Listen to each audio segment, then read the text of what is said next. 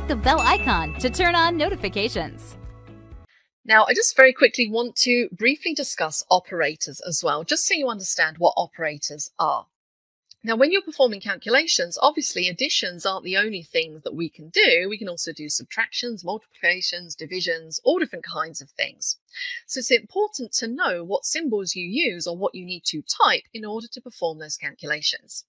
So an addition is a plus symbol on your keyboard, subtraction is minus, multiplication you need to press the asterisk, and division you want that forward slash. So if I was doing something like 10 uh, multiplied by 2, I would put the asterisk in there, and that's going to give me the correct answer. Okay, so those are the operators that you're going to be using in your calculations.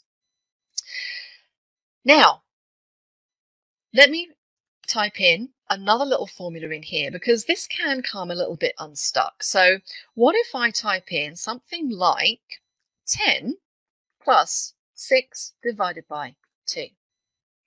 What do you think the result of this formula might be? Because we could have two different answers here depending on how we read this formula. So I might say to myself, okay, I want to do 10 plus 6, which gives me 16, and then divide it by 2, which is going to give me the answer of 8.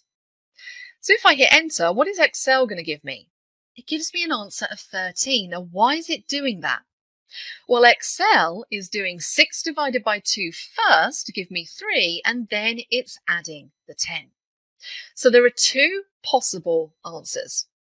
So how do we get around this? If we are performing calculations, how do we ensure that we're going to get the correct answer or the answer that we're looking for each time?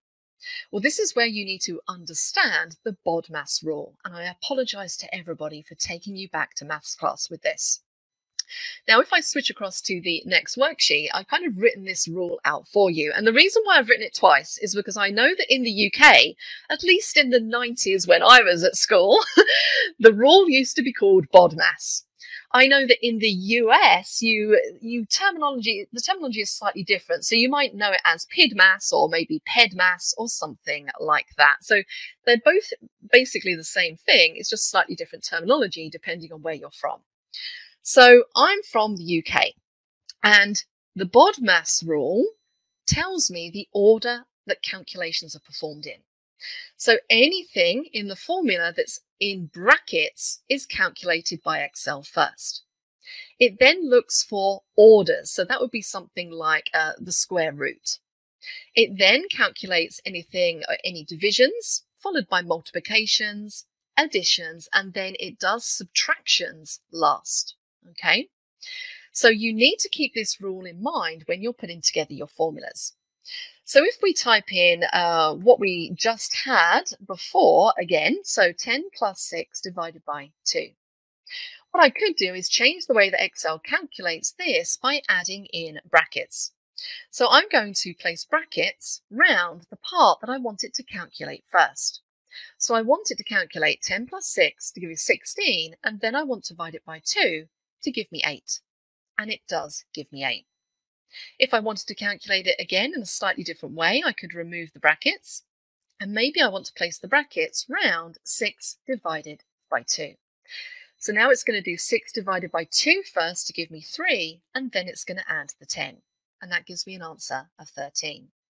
So this BODMAS rule is really, really important. And you'll find this through any mathematical calculations that you do, not just in Excel.